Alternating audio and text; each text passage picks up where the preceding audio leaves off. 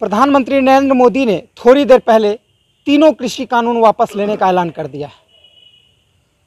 एक साल से लगातार किसान इसको लेकर प्रदर्शन कर रहे थे। तीनों कृषि कानून वापस लेने की मांग कर रहे थे। आज हमारे साथ बात करने के लिए मौजूद हैं कांग्रेस विधानमंडल दल के नेता अजीत शर्मा जी। इनसे हम बात करेंगे, क्या कहते हैं प्रधानमंत्री नरेंद्र मोदी ने जो कृषि कानून वापस लिया है? भाई, वो कानून तो गलत था ही। और हमारे किसान भाई, जो हमारे देश के अन्नदाता है। वो एक वर्ष से ऊपर से धरना पर बैठे थे, आंदोलन कर रहे थे।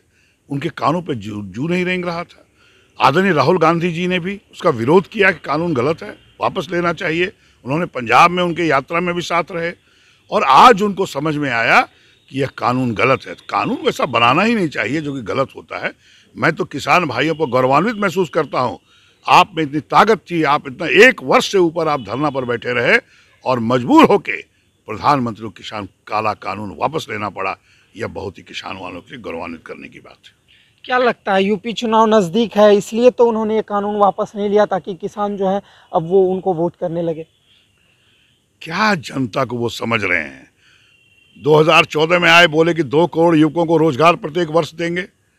सभी युवक लोग सब मोदी मोदी करके वोट उनको मिला सरकार सत्ता में आई एक भी रोज़गार नहीं 2020 में इस बार असेंबली इलेक्शन में बिहार के एनडीए ने अपना घोषणा पत्र में लिखा 19 लाख लोगों को रोज़गार देंगे। एक भी रोज़गार नहीं मिला।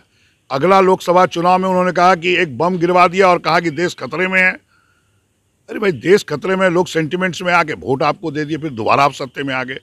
आप याद कीजिए स्वर्गीय इंदिरा गांधी जी को, जब पाकिस्तान ने आँख दिखाने की दुस्साहस किया था इन्होंने अटैक करके उसको दो फाक कर दिया था, पाकिस्तान को तोड़ दिया था। आप अगर खतरा है देश पे, प्रधानमंत्री जी तो आप में इतनी ताकत है हमारे देश की जनता में, देश की सेना में इतनी ताकत है कि पाकिस्तान को खदेड़ फेंकेगा। लेकिन ये जनता को गुमराह मत करिए और ये किसान कानून जो आपने वापस लिया है, इसके लिए हम आपको धन्यवाद देते हैं कि आप भी समझे कि काला कानून है ये, गलत कानून आपने लाया है, कॉरपोरेट के हित में लाया था। और हम आदरणीय राहुल गांधी जी को भी धन्यवाद देते हैं कि आपने जो शक्ति लगाई किसान भाइयों के साथ आज उनको कानून वापस लेना पड़ा। उन्होंने एक शब्द कहा अपने बयान में अभी थोड़ी देर पहले कि किसान भाई को हम समझा नहीं पाए। कहीं ना कहीं हमसे कमी रह गई समझाने में। किसान भाई को क्या वो बेवकूफ़ समझते हैं? जो अन्नदाता है पूरे देश में पूरी जनता अन्न खाती है उनके मेहनत से। क्या वो बेवकूफ़ समझते हैं? समझा नहीं पाए। काला कानून जो आप बनाए थे कानून वो काला था ही गलत था ही। इसमें समझाने की ज़रूरत क्या? थोड़ी बेवकूफ़ बैठे हैं। जो जनता आपको सत्ता में बैठाई है, क्या वह बेवकूफ़ है? समझ समझ, समझदार नहीं है। इसलिए आप ये बात मत बोलिए कि आप समझा नहीं पाए।